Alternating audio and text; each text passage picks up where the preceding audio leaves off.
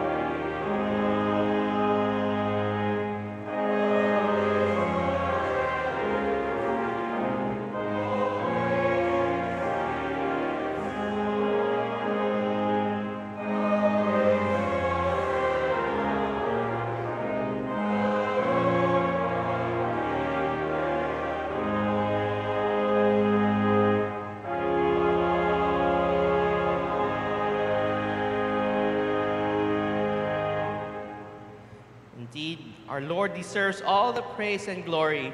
Before we proceed, why don't we greet one another with a good morning first? And to those who are at home, good morning to you as well. Okay, let us now proceed with a greeting. The Lord be with you. Praise be to God, Father, Son, and Holy Spirit. Bless the Lord who forgives all your sins. Let us now prepare our hearts as we pray. Almighty God, to you all hearts are open, all desires known, and from you no secrets are hid. Cleanse the thoughts of our hearts by the inspiration of your Holy Spirit, that we may perfectly love you and worthily magnify your holy name through Christ our Lord. Amen. Lord, have mercy upon us. Lord, have mercy upon us. The Lord be with you. Shall we now pray together our collect of the day? Together. Almighty God, you alone can bring into order the unruly wills and affections of sinners. Grant your people grace to love what you command and desire what you promise, that among the swift and varied changes of the world, our hearts may surely there be fixed where true joys are to be found through Jesus Christ our Lord, who lives and reigns with you and the Holy Spirit, one God, now and forever. Amen. Let us now be seated as we hear from the lessons.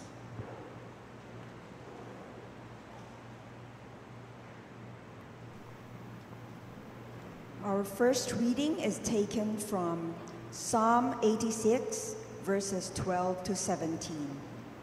You may turn your Pew Bibles to page 513. Psalm 86, verse 12. I will praise you, O Lord my God, with all my heart, and I will glorify your name forever. For great is your mercy toward me, and you have delivered my soul from the depths of Sheol.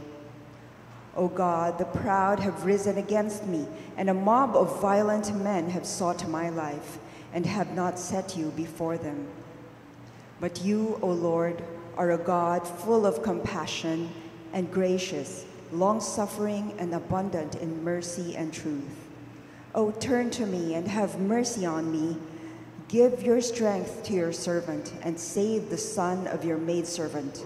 Show me a sign for good, that those who hate me may see it and be ashamed, because you, Lord, have helped me and comforted me. The word of the Lord.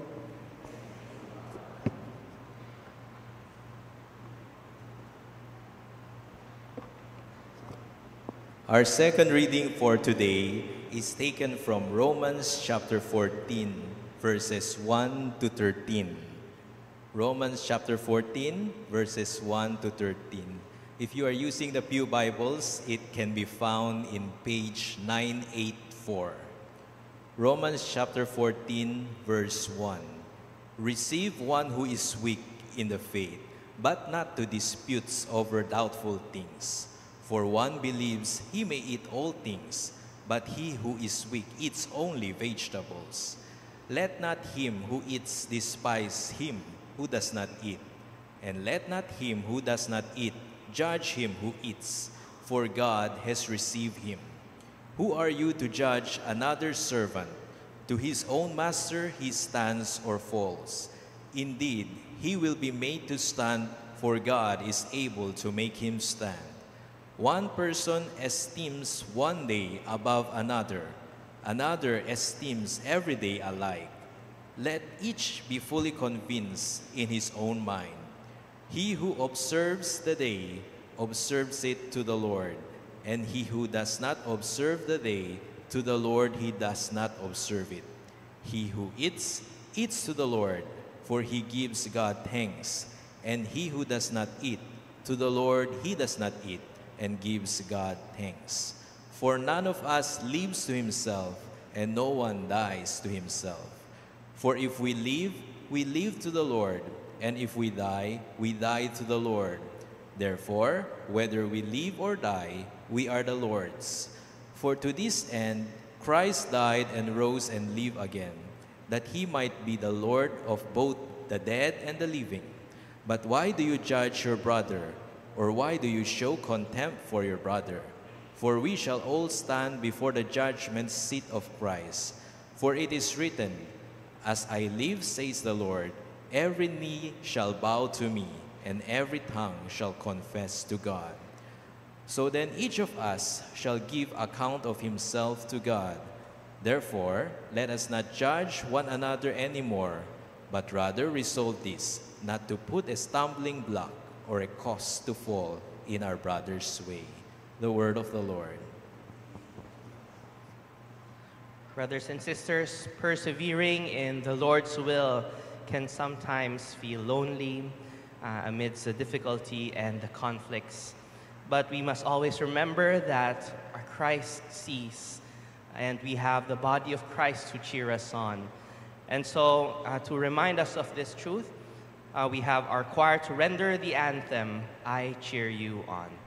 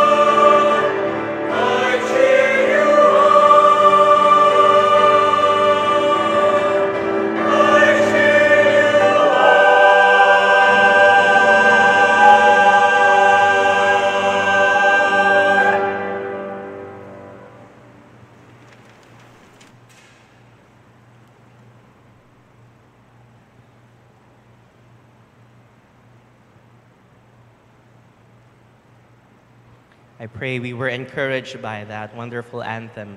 Now let us all rise and hear the proclamation of the gospel.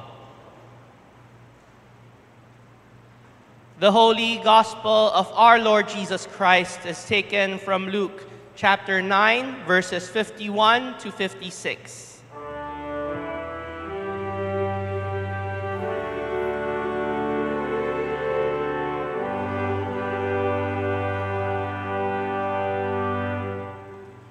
Chapter 9, verse 51. Now it came to pass, when the time had come for him to be received up, that he steadfastly set his face to go to Jerusalem and sent messengers before his face. And as they went, they entered the village of the Samaritans to prepare for him.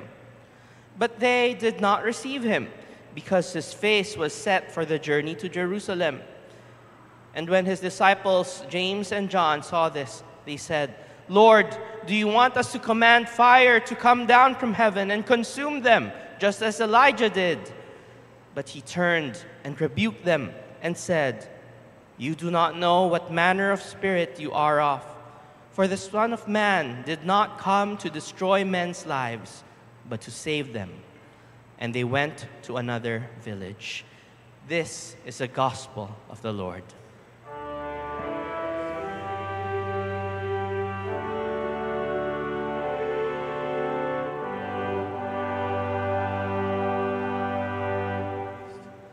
Please be seated.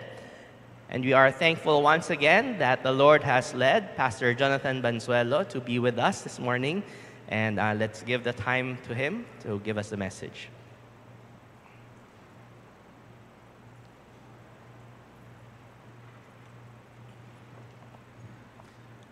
Brothers and sisters in the Lord, good morning. Now, this morning I was given the responsibility to talk uh, about bearing with one another. It has been taken from Romans chapter 14. So I've decided to uh, simplify the message by talking about the topic patience. Now, probably it begs the question why do I have, uh, why do I have to add patience to my life? Well, uh, number one, it upgrades, it improves your character. You learn humility, you learn respect, you learn consideration towards others, and definitely, if you have patience, you will be able to serve. God can use your life.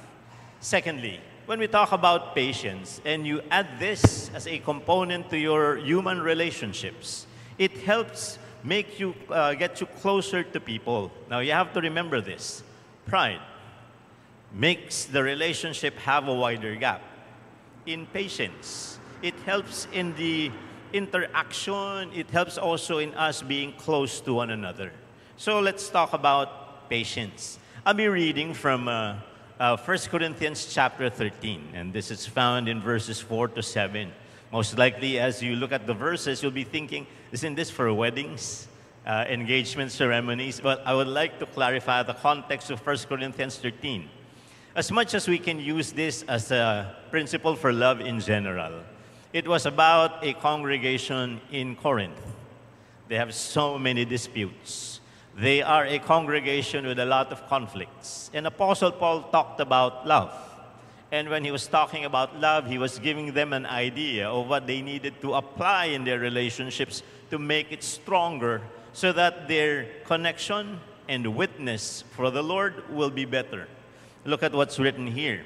Love is patient and kind. Love uh, is not jealous or boastful. It is not arrogant or rude. Love does not insist on its own way. It is not irritable or resentful. It does not rejoice at wrong, but rejoices in the right. Love bears all things, believes all things, hopes all things, and endures all things. When you look at uh, love here, you have to understand that in order to apply it, you have to remember two basic things. There is what we have we, we call the proactive encouragement.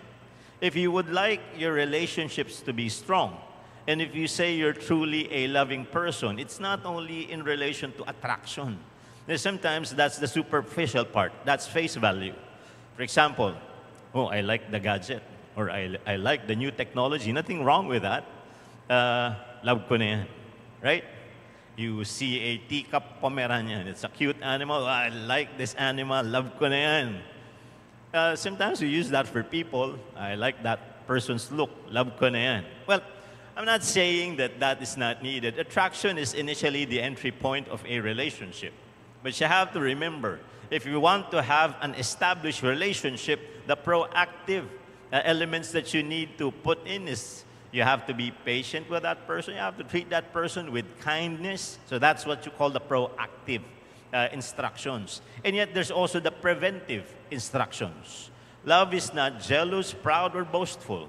These things have the element of selfishness. Most of the time, jealousy, pride, and boasting has something to do with what you want, how you want yourself to be perceived by people. Now, that has become the problem in the Corinthian congregation. Because of pride, jealousy, and boasting, it created stress fractures in their relationships. And this is also another thing that they needed to overcome. So, from selfishness, you have to learn selflessness. Love is not rude. Now, you have to remember that if there is respect in your treatment of people, when you talk to that people, uh, to that person, you become considerate. When you treat that person, you treat that person in a sense is uh, it's a better way of approaching or uh, interacting with the individual. Take away respect. You will be rude in how you talk to that person. You will be rude in how you behave in front of that person. So remember, there is a proactive element in loving and there is a preventive element in loving if you would like the interaction or the relationship to be stronger. Patience among them. I like what, what Joyce Meyer wrote. Uh, this is what he, uh, she wrote in relation to patience. Patience is not simply the ability to wait. It is how we behave while we are waiting. You agree? Uh, sometimes you cannot move the process along. You want to, you're interested in your own time and importance. That's true. We all have that. But the problem is, we have to wait. And in the waiting time, that's the time that somehow certain manifestations of our character comes out. It's okay if it's the good part, but there are many times it's not the, uh, it's the not so good part that comes out. How do you define immaturity? Immaturity, most of the time, defined like this it is your inability to delay and deny gratification. If you don't get what you want at that specific time that you want it, sometimes you, you see children, you bring them to the mall, they like to, to buy something and you're teaching them a lesson or probably you don't want to purchase that item for the child. The child sometimes have tantrums, right? But I'm not justifying the tantrums, but you have to understand they're immature, they're children. They still have to learn. But tantrums are not limited to kids. Adults also have tantrums. You agree to this? And that's the reason why we need to behave properly. And a mature person uh, seems to be expected to have control. So, Joyce Meyer's saying is very important. Patience is not simply the ability to wait, it is how you behave while you are waiting.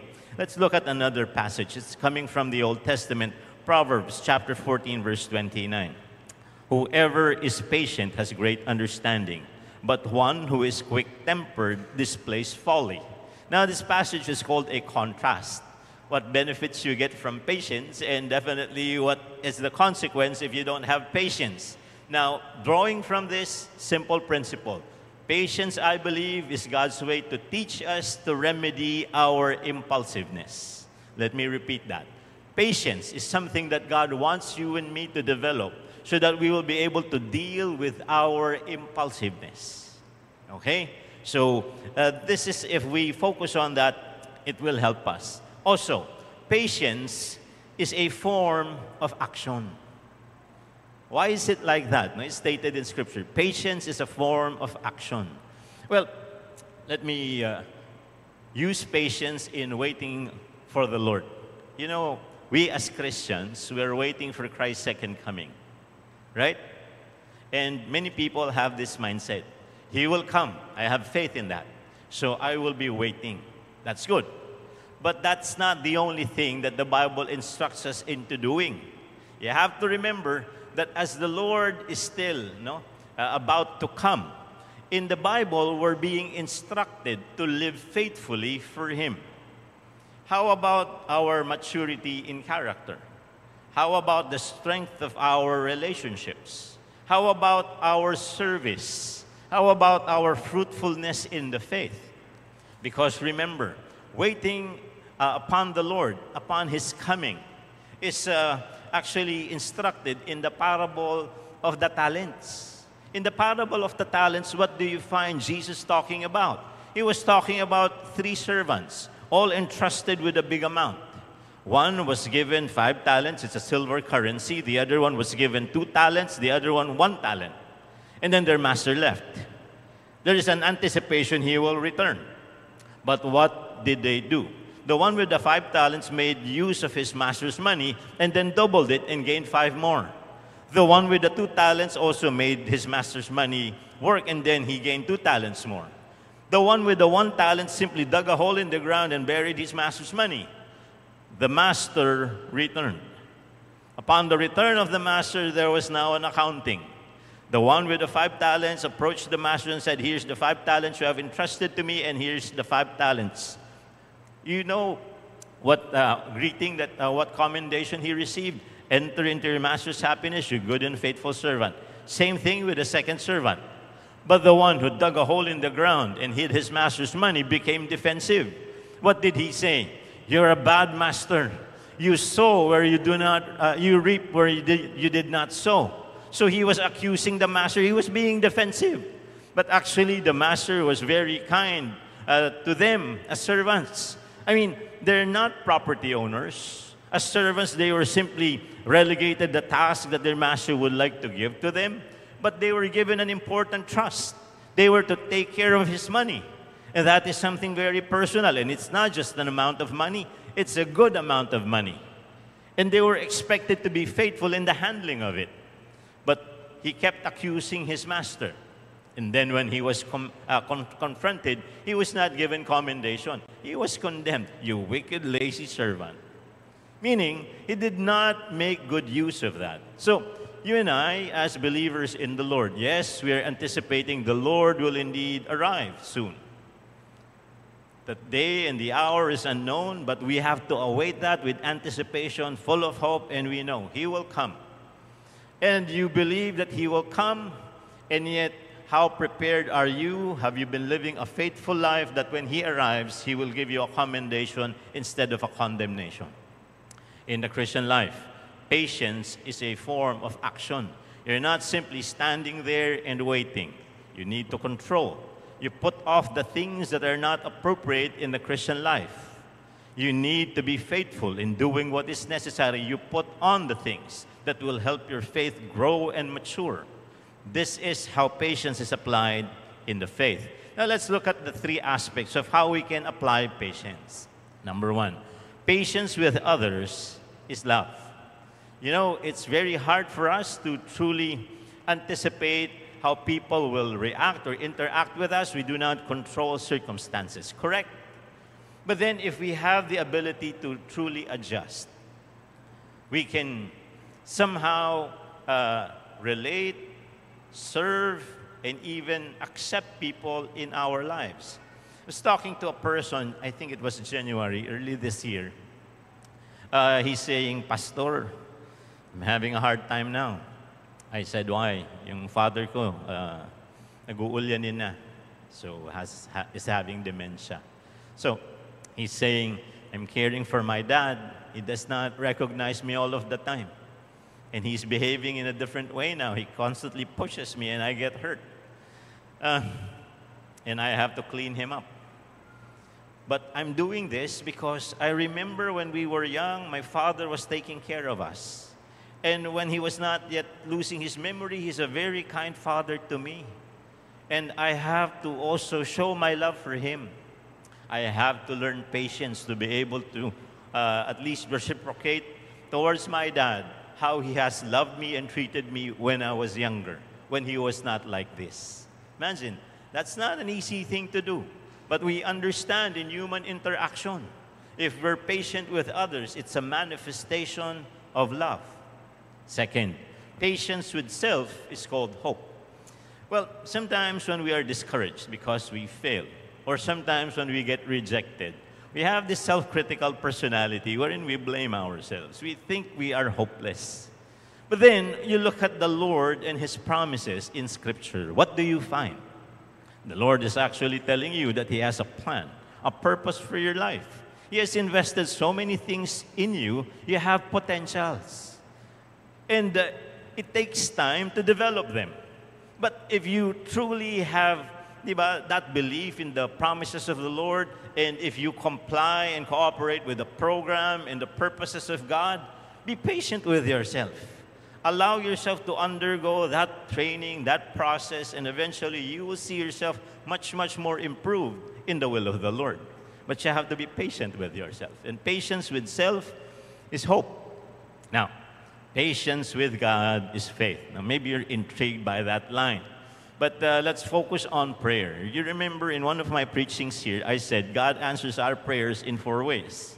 If the request is wrong, God will say no. If the timing is wrong, God will say slow. If you are wrong, something wrong with your character, God will first say grow. But if the request is right, the timing is right, and you are right, God will say go. He's not going to uh, be a stingy God. He's going to be generous towards you. But again, his conditions should be met at his own uh, perfect timing. But when we request, when we pray to God, when do we want the answers to be given? Honestly. Many days later? Or do we want it immediately?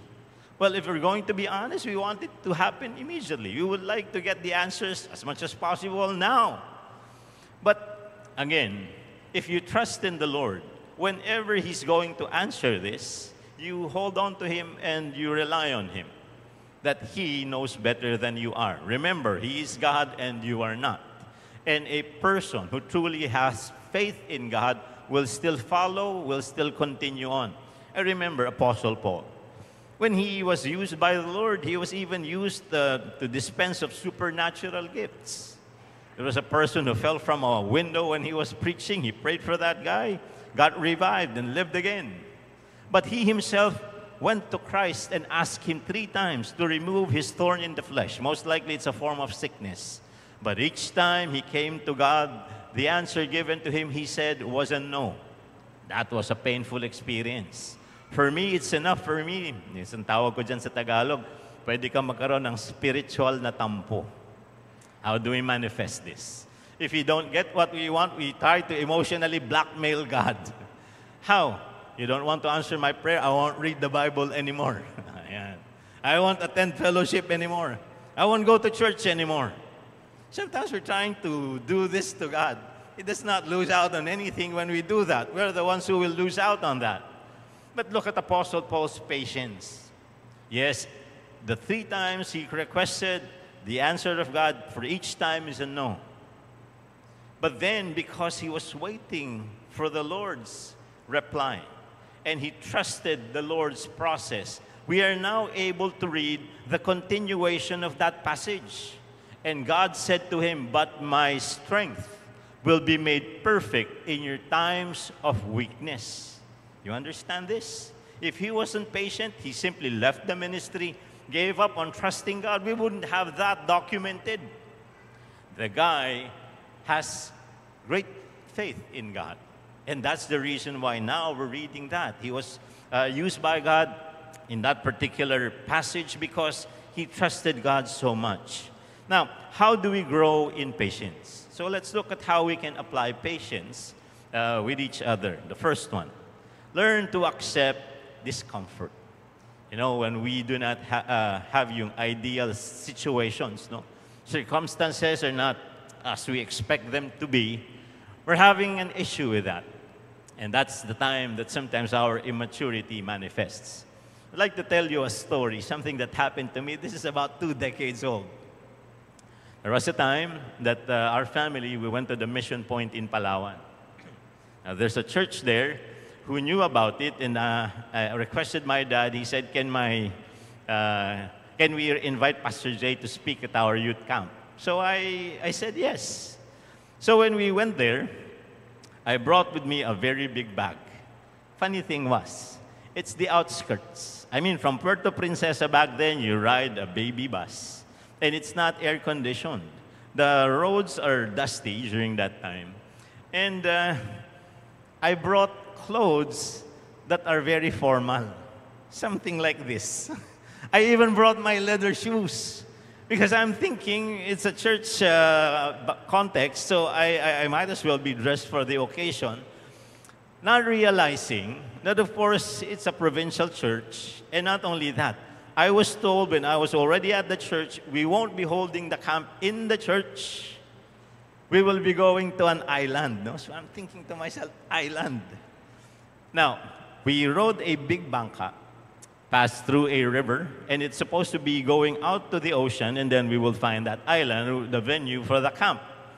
So I was asking the people who were around me, uh, we don't have tents here. Where will we sleep?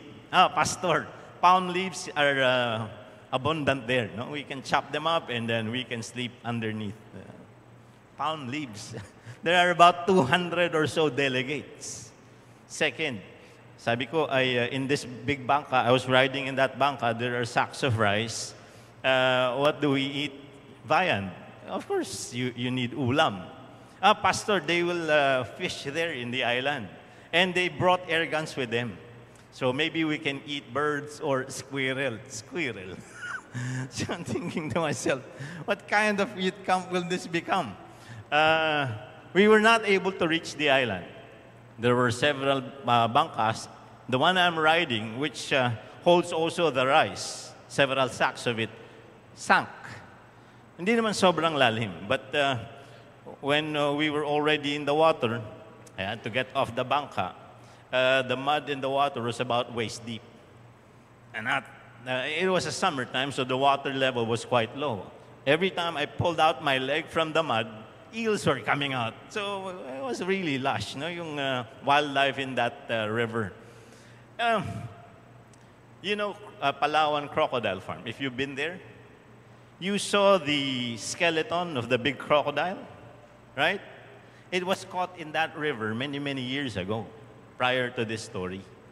And then, so I was asking the people whom uh, I was carrying a very big bag. The, the bank of the river was quite high because, again, it's low tide and it's a summer. The water levels are low. I asked them, Aren't there any crocodiles here? I was concerned. They said, Ah, Pastor, don't worry about that. Only small crocodiles. I started to run and I was able to get up the embankment very quickly. They said, Why have you run up, Pastor? Ba't ka nagmadali? Sabi ko, small crocodiles have parents. I don't want to meet the father and the mother of those small creatures. Uh, I was really feeling irritated, uh, annoyed, everything was wet, and I'm thinking, this shouldn't push through anymore. It's a failure. But then they were insisting on continuing on with the camp, but no longer in that island. Uh, we go back to the church and we do it. You know what? I learned a valuable lesson. If I did quit, I would have seen the fruits that were born out of that particular ministry. But I have to admit, it was very uncomfortable. And that discomfort almost showed the bad side of who I am. Right? Di ba? So, if we would like to grow in patience, we have to accept the discomfort. Not everything is as you anticipate it to be, not everything is ideal, but we need to learn to adjust. Now, look at James chapter 1, verses 2 to 3. At first, when I was reading this, I find it rather odd how James looks at uh, trials. He says, When troubles of any kind come your way, consider it an opportunity for a great joy. Uh, what kind of a perspective does the guy have? Now look at Apostle James talking about the second part. For you know that when your faith is tested, your endurance has a chance to grow. Right? The mindset, your beliefs needs to change because your beliefs, the things that are in store in your mind, will affect your behavior, your attitude, and your interaction. And I think when James was writing this, his mindset was totally focused on something else. The process is going to help me in my maturity. And this is necessary. And uh, as uh, most experts will tell you, when we talk about patience, patience is usually born out of irritation. If you have irritation and you learn to deal with the irritation, then you find yourself becoming patient, right? Now, let's look at the second. How do we grow in patience? Practice the discipline of forgiveness. Now, this one has something to do with interaction with fellow men. Now, the first one, the patient person gives God time to act. I think Apostle Paul understands this very well. You know, at the early part of his ministry, Paul had a tandem, the name is Barnabas. And they wanted to go to the Gentile territories to do missions work and minister.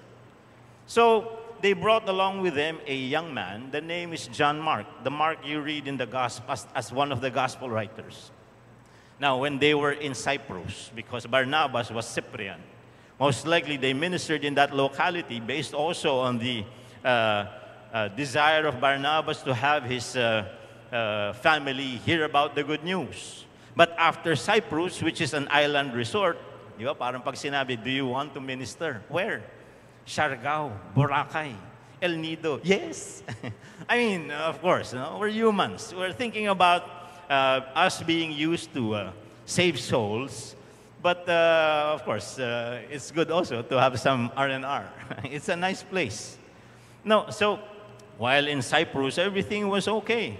But they have to move on deeper into Gentile territory. They have now to traverse the road to Pamphylia that particular road during the time that they were going to do this mission was not an easy road to take. It was actually known that that location has so many insects that malaria was plaguing this area. And that's why when people are saying the thorn in the flesh of Paul most likely was either an eye irritation or probably malaria, if it was a sickness. Not only that, bandits frequent this location. So your life will be endangered. So imagine, these are the things that you will experience. John Mark decided to go home. That did not sit well with Paul. That's why in the second missionary journey, Paul partnered with Silas and Barnabas continued on with the work with John Mark, but they took separate routes in the second missionary journey. Paul did not want to have John Mark again join them. Sabi ni Chrysostom, most likely Mark during that time missed his mama. I mean, he was young, and probably there was fear. He did not like the discomfort, and he went home. And Paul, being a dedicated person, and in that sense, no, he was also very, uh, I know, passionate in what he wanted to do for the work. Uh, he felt that that was abandonment. But that was him. That was how he looked at John Mark in his earlier years. But later on, Mark grew not only in age, in stature, but he grew in maturity. And as he was writing the churches before, among those he was commending for being faithful in serving the Lord was John Mark. Imagine, no? Uh, that's how we are as humans. We profile people, we have expectations of people. If they cannot deliver, we feel frustrated. Well, that's the reason why we need to practice patience.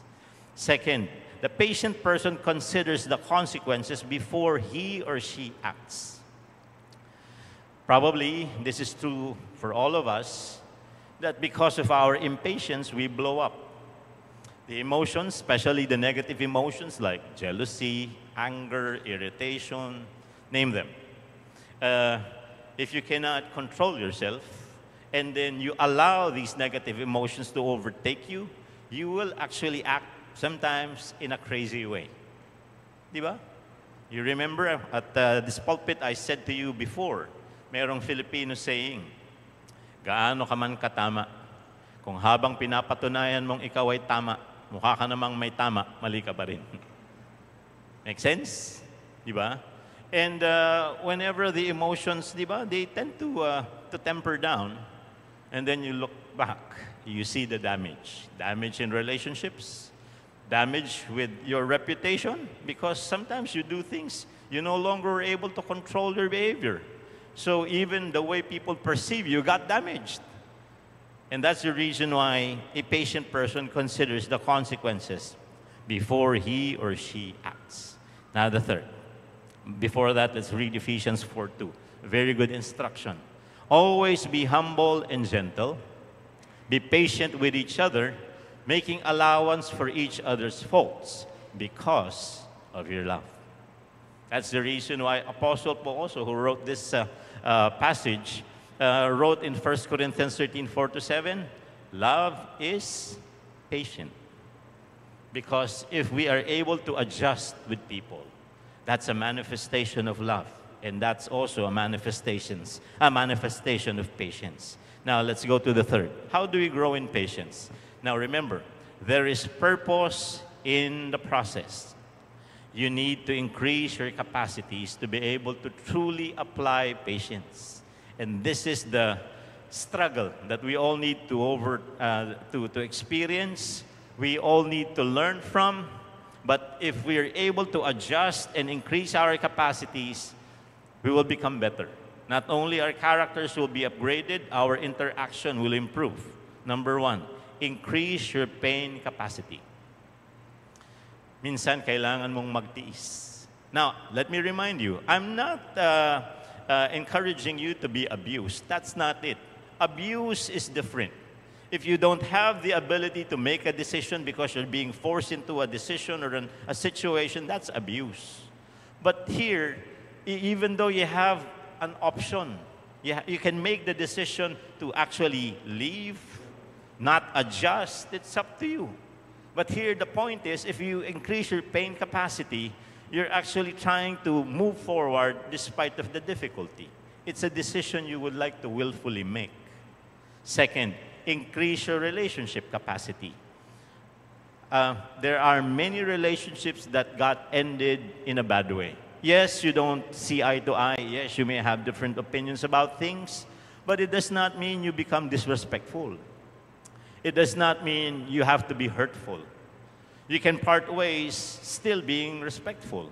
You know, there's a song. Uh, narinig yung line eh. The, the one who sang it, I think, was Justin Timberlake. He says, what goes around comes around. What does that mean? So I'm interacting with a person now. We don't see uh, eye to eye. We need to part ways. But we can part ways respectfully.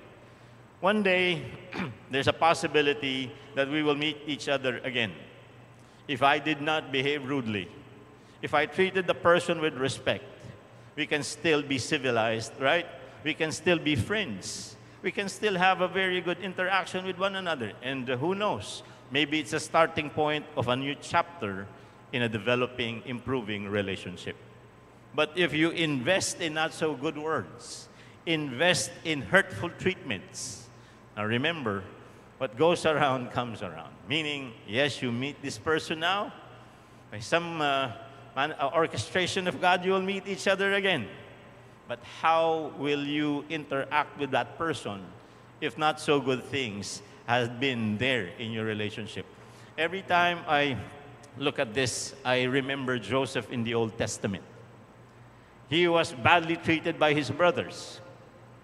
And then they met each other again different now, different situation. He was administration of food, administrator of foods, and his uh, brothers were asking to get food from Egypt.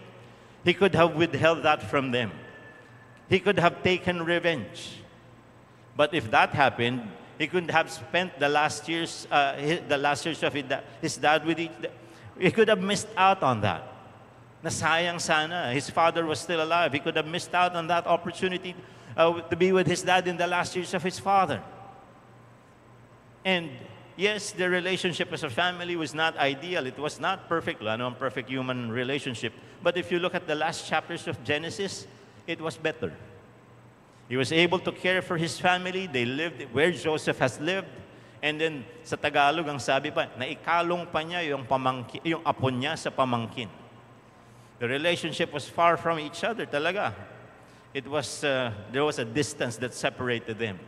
But it became closer, nagkaroon ng improvement because of increasing relationship capacity. The third, increase your exposure capacity. There are times that there will be emergencies. There are times there will be needs that need to be, di addressed. And you're there. Yes, there are times we think about our own welfare. We get tired. We don't want the annoyance, or probably we don't want the discomfort. Uh, let me give an illustration. Ministry, for example. Uh, this is an actual story. I uh, had this interaction with a person in church. He was sour graping. Sabi niya, Pastor, I can't understand our leaders, especially our pastor. They chose musicians, especially the guitarist. He was not very good. Then I'm thinking to myself, why is he saying this to me? I don't even know him. but uh, definitely he was ranting about it. No? So sabi ko, why? Do you know how to play? Ah, Pastor, compared to that guy, I know how to play well. Okay. So me, I don't want to leave things hanging. Nagmarites ako dun sa pastor. Sabi ko, uh, Pastor, somebody's uh, saying na the, the, the guy that was uh, chosen to play the guitar is not as good as him. Pastor, that's exactly what we're thinking. We discovered that he was a very good guitar player. But we were asking the congregation who would like to volunteer their talents to help in the music ministry. There were those who raised their hands and he would not. And so we chose the ones who volunteered. Later on to discover that he is actually a very, very good guitar player. And now he keeps on sour graping. And when we had these people trained, and many of them were sent to some music camps, it was all the more sour graping. He should have been the one sent there. But you did not volunteer. You could have been used mightily in the work of God, but you prevented yourself from being known. People are not prophets, uh, uh, meaning they don't know how to read your mind, they don't know how to read your heart, they don't know what the future holds for you. It is only through God's giving you the ability to see these things will you be able to do so. But when they're looking at him, they don't know anything about what his future holds for him and what capabilities he has. But you know what? It, if he simply volunteered himself, he could have been part of the team and he could have been used. And I think that would have minimized sour graping. Remember, increase your exposure capacity. And bottom line, increase your character capacity. You cannot control the situation, you cannot control other people. But there's only one person you can control in that crowd. And who is that person? Yourself. We can control our behavior, our reactions, our attitudes. And if we're having a hard time with that as well, we can ask God to help us to have that fruit of the Spirit, which is called self control, so that our behavior will become better. But we have to increase our character capacity. Now, I would like to leave behind two verses. First is Galatians 6 9. Let us not be weary in doing good, for we will reap in due season if we do not give up. In practicing patience and the other stuff that the Bible tells us, instructions coming from God that we should do, we should uh, develop in our lives. Sometimes it's a hard thing to do. Yes, but as much as it's hard, it's not impossible. It is just a matter of wanting to comply. Yung kagustuhan mo ring sumunod, and yung kagustuhan mo ring gawin yan. Right? I may not be perfect, but I can be obedient. I may not be perfect, but I can agree and comply and willingly do something. And that is what God is expecting from us. And so, there's another version of Proverbs that we will be looking at. Proverbs 14:29. Very strong language, but uh, learn from this. A patient person is very smart, and a quick tempered person makes stupid mistakes. I do hope, brothers and sisters in Christ, as instructed in Scripture, we do learn how to love one another. We need to bear with one another, and we need to apply patience. God bless you all, and good morning. We thank the Lord for his message for us this morning, and I believe this has been very timely for many of us. And so may we truly be God's children who uh, keep our patience as we look to the Lord for our trust. Uh, and as a way to help us as well uh, is to remind ourselves of who we believe in and what we believe in. So may, we, may I invite everyone to please rise as we declare together our faith using the Nicene Creed.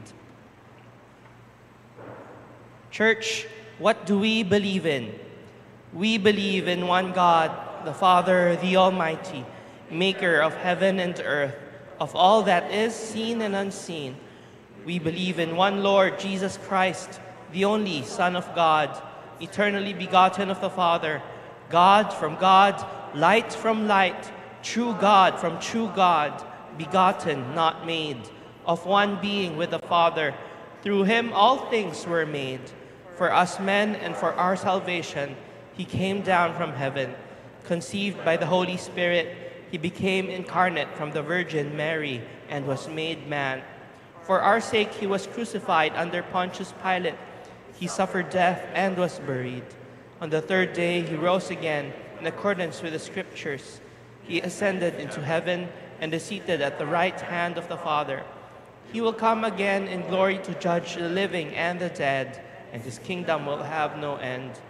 We believe in the Holy Spirit, the Lord, the giver of life, who proceeds from the Father and the Son. With the Father and the Son, he is worshipped and glorified. He has spoken through the prophets. We believe in one holy Catholic and Apostolic Church. We acknowledge one baptism for the forgiveness of sins. We look for the resurrection of the dead and the life of the world to come. Amen. Let us now kneel for the prayers.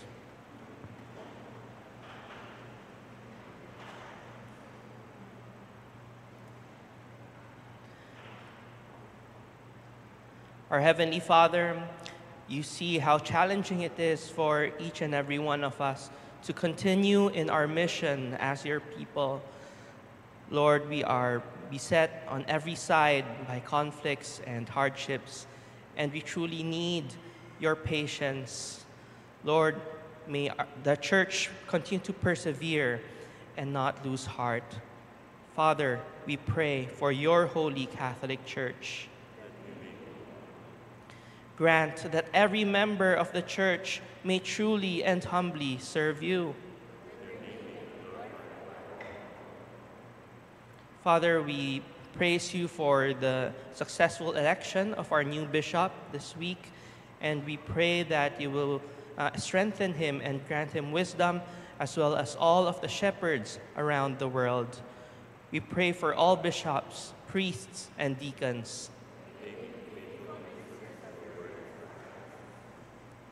Father, we continue to lift up to you our country. Lord, we ask for your mercy. We pray that you will give wisdom to our world leaders Lord, we pray that you will give them a desire, a genuine desire to serve the people. And so we pray for all who govern and hold authority in the nations of the world. Father, with so many things that will take away our energies, we ask for your grace. Lord, we need your strength to go on and to shine this light for you. Give us grace to do your will in all that we undertake. And we lift up to you many who are sick right now among our members, our family members, and uh, those also who are grieving, those who are suffering. Have compassion on those who suffer from any grief or trouble. And finally, we praise you for your saints who have entered into joy. Let us now take a moment to pray for our own needs and those of others.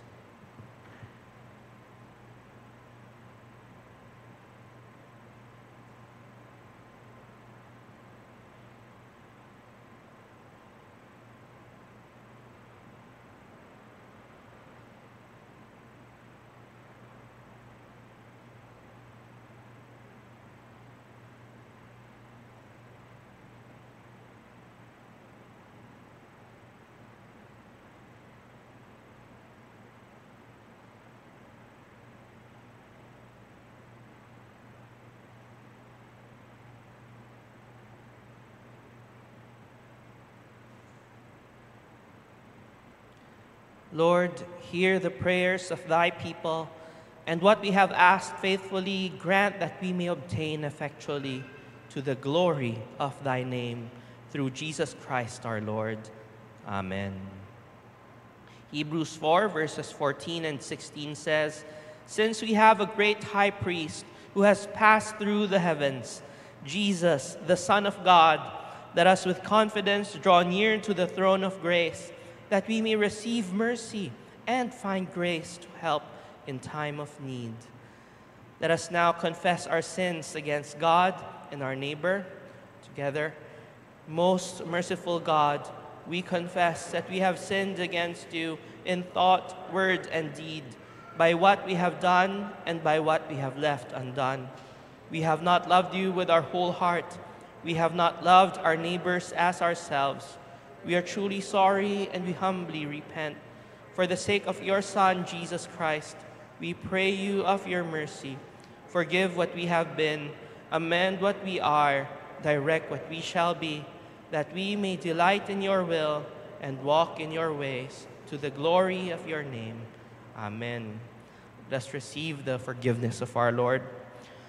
Almighty God, have mercy on you, forgive you all your sins through our Lord Jesus Christ, strengthen you in all goodness, and by the power of the Holy Spirit, keep you in eternal life. Amen. As we prepare for the Lord's table, let us now pray together the prayer of humble access. Together, most merciful Lord, we do not trust in our own merits to come to your table but in your boundless grace, you have invited us to come to the table of the kingdom of heaven. Help us to partake of the body and blood of your Son, Jesus Christ, that we may evermore live in him and he in us. Amen. Let us now rise for the peace.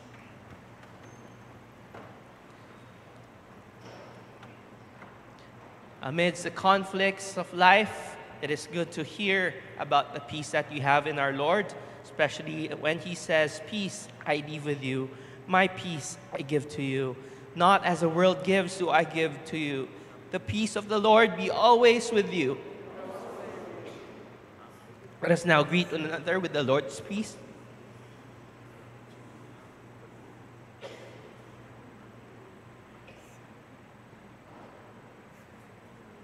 We may now be seated.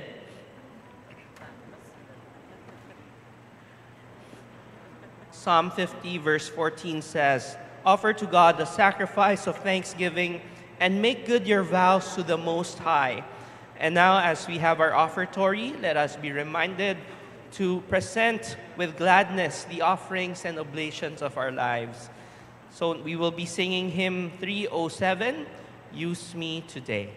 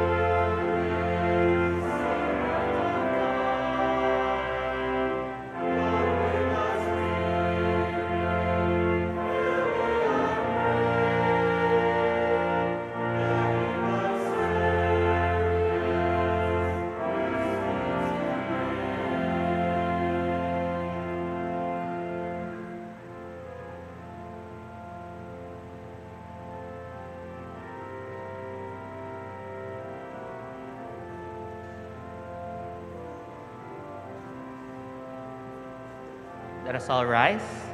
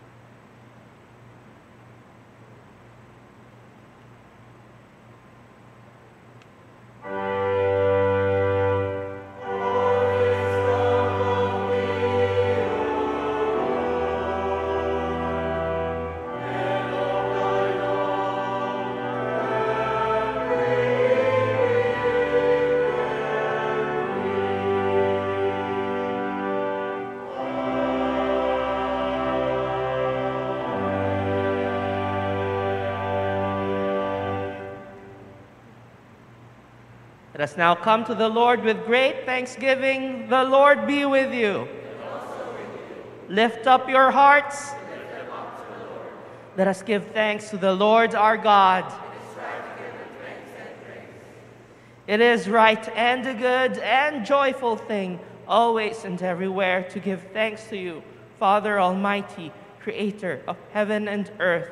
Therefore, we praise you joining our voices with angels and archangels and with all the company of heaven who forever sing this hymn to proclaim the glory of your name.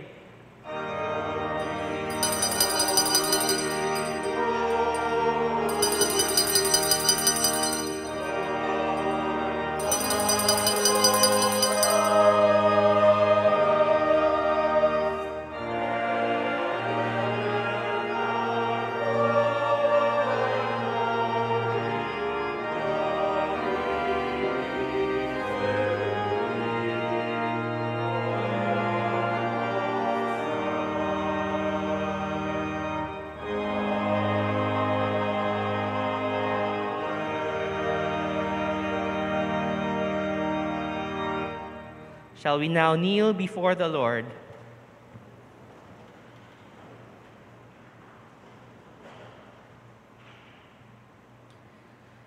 Our holy and gracious Father, in your infinite love, you made us in your image. And when we fell into sin and become subject to evil and death, you, in your mercy, sent Jesus Christ, your only and eternal Son, to share our human nature to live and die as one of us. He stretched out his arms upon the cross and offered himself in obedience to your will, a perfect sacrifice for all mankind to reconcile us to you, the God and Father of all. On the night he was betrayed, our Lord Jesus Christ took bread, and when he had given thanks to you, he broke it and gave it to his disciples and said, Take, eat. This is my body, which is given for you. Do this for the remembrance of me.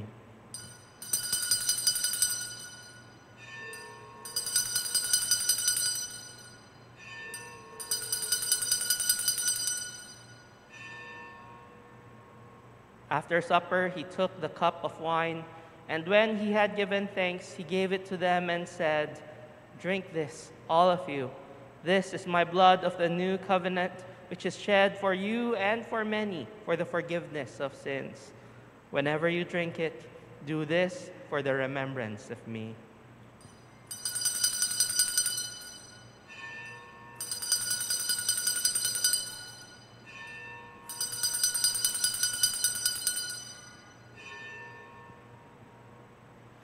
And so, with glad hearts, we proclaim to the world the mystery of the faith.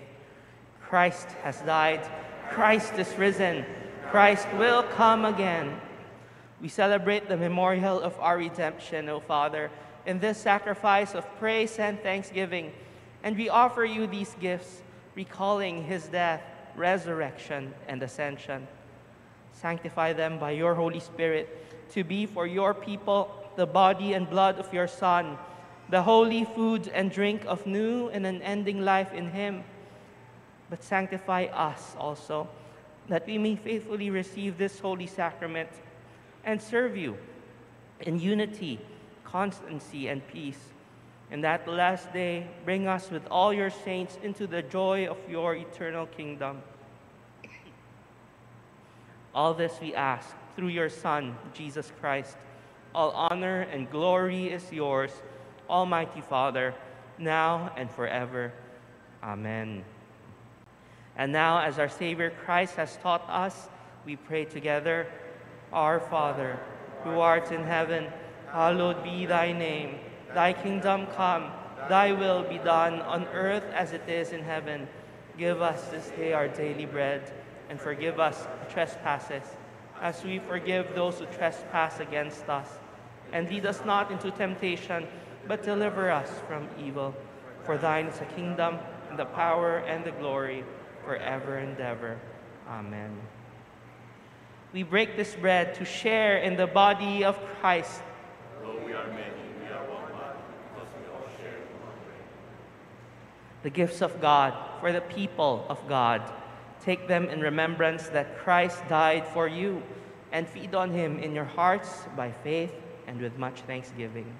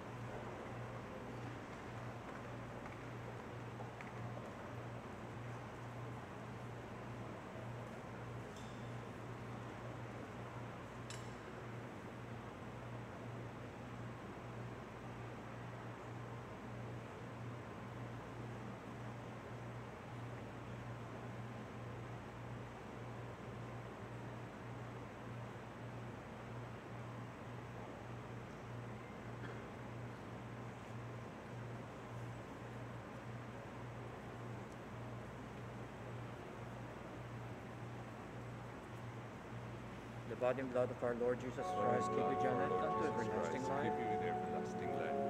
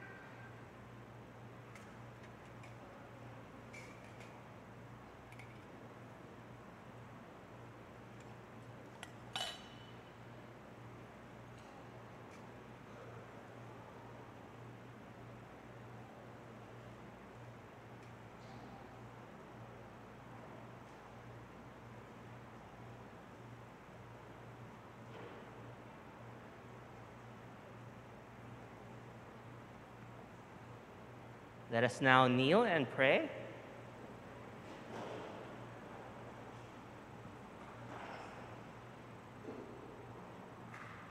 Let us now ask the Lord's grace as we pray together the post communion prayer. Eternal God, Heavenly Father, you have graciously accepted us as living members of your Son, our Savior, Jesus Christ, and you have fed us with spiritual food in the sacrament of his body and blood. Send us now into the world in peace and grant us strength and courage to love and serve you with gladness and singleness of heart through Christ our Lord. Amen. Let us now receive the blessing. May the peace of God, which passeth all understanding, keep your hearts and minds in the knowledge and love of God and of his Son, Jesus Christ our Lord. And the blessing of God Almighty, the Father, the Son, and the Holy Spirit be amongst you and remain with you always. Amen.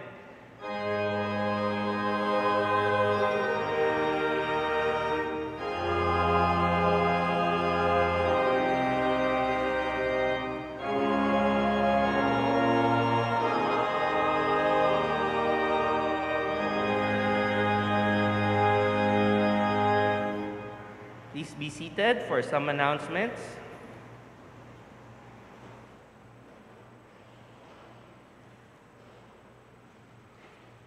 Okay, first off, uh, we uh, would like to uh, praise the Lord for our recently concluded diocesan convention this week. Okay, so it was held last March 12 and 13, and part of which was the election of our new diocesan bishop. Uh, and here is his picture. He is Bishop-elect James Boliget. Okay, so we have been praying for him, uh, for, for this for several weeks, uh, and the Lord has led Bishop James to be our new bishop. So uh, just to quickly introduce him, Bishop-elect James had been serving as a clergy in our diocese since 1993. Okay, so he became the rector and dean of our national cathedral. So that's the one in E. Rodriguez in St. Luke's, uh, beside St. Luke's Hospital. Okay, since uh, in 2008. And then recently, he's been uh, called to pastor in St. Barnabas at Tagaytay and the neighboring co- congregations in Batangas, Cavite, and also at the PNP Academy. Okay, so uh, he has also served in almost all the committees in our diocese, including key committees such as our diocesan council, so it's like the vestry of the entire diocese, uh, the standing committee, which serves as an advisory committee to the bishop, and also the commission on ministry, which is in charge of equipping potential clergy people in our diocese. Okay, so he's uh, very much qualified, and we praise God for uh, his service and willingness to serve as our new bishop. So let's continue to pray that God would bless uh, Bishop James and our diocese in the years to come. Second announcement, uh, please also be reminded of our uh, that next week is already our Palm Sunday service. Okay, so next Sunday is our Palm Sunday service. And then the following, after that, will be our Holy Week services. Okay, so our Palm Sunday service will still be at 8.30, so regular time. Uh, and then our Holy Week services are there for us to see and also in our flyers. So take note of the time and the schedule. Okay, so yeah, we praise God for, for these things that are happening in our diocese uh, and in our church. And let's continue to pray for one another and be patient and bear with one another as we move forward as a church. Okay, so now as we close our service, may I invite everyone to rise and let's sing together hymn 320, asking God to really make us a blessing.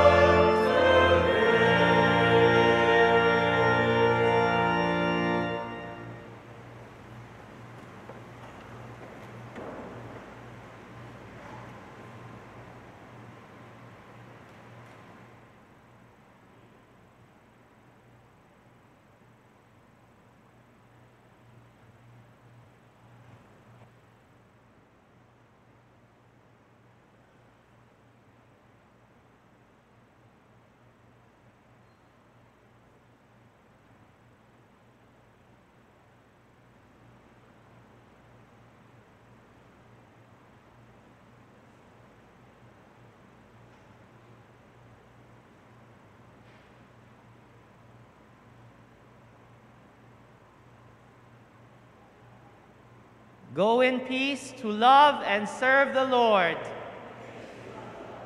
God bless everyone.